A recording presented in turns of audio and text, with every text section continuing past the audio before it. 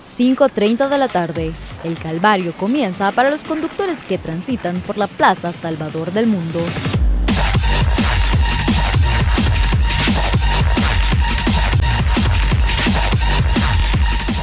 6 de la tarde.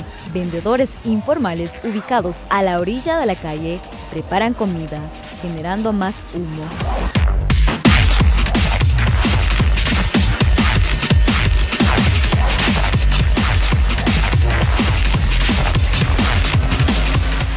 6.13 de la tarde. Varios conductores se detienen para comprar alimentos. El tráfico aumenta.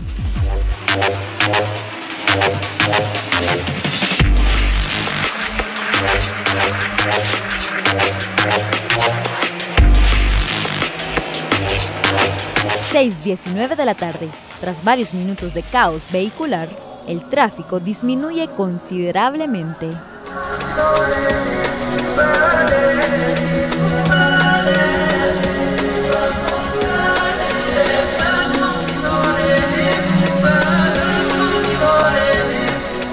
6.35 de la tarde.